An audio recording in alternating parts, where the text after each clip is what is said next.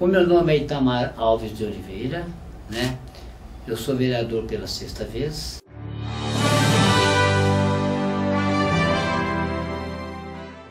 Eu nasci no estado de Minas Gerais, numa cidade chamada Viçosa, né? e de lá eu vim, vim para cá com seis anos de idade.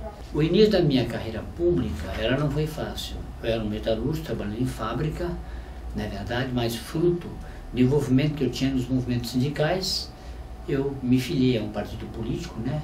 É, e aí eu fui o mais votado na época e aí iniciei o meu primeiro mandato. E uma das bandeiras que nós assumimos foi a questão do sem terra, sem teto, onde nós abraçamos essa causa. E lá nós fundamos o 22 de abril e 1 de maio, onde hoje lá tem mais de 3 mil famílias morando.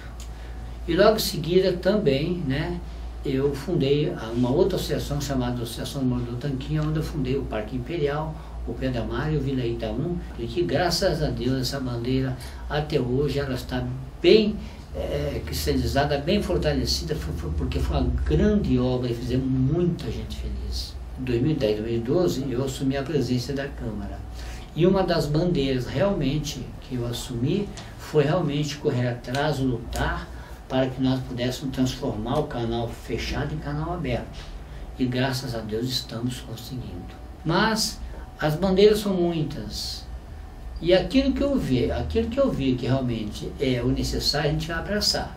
Não importa que seja na área da saúde, não importa que seja na área da própria habitação, tem a questão do trânsito, que é um caso em Jacareí, não é verdade? Então, a bandeira que nós achamos que é mais conveniente, nós abraçaremos e vamos, e vamos batalhar em cima dela.